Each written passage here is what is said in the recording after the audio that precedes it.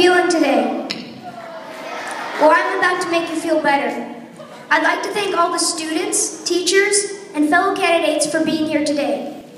My name is Jake Ross, and I'm running for Student Council President. My goal is to make sure you look forward to coming to SSIS every day with a smile on your face. Although I can't do things such as less school and more recess, I can promise you no homework. On summer break, that is. I am the perfect person for this job. One, I'm dedicated, focused, and hardworking, as a president should be.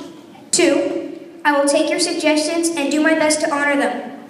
Three, I will look forward to organizing game nights, fundraisers, and fundraisers, spelled F-U-N, and other outstanding theme days such as Crazy Hair Day, Backwards Day, and Free Dress Day. I can talk a lot more about what a great president I would be, and I would probably bore you to sleep.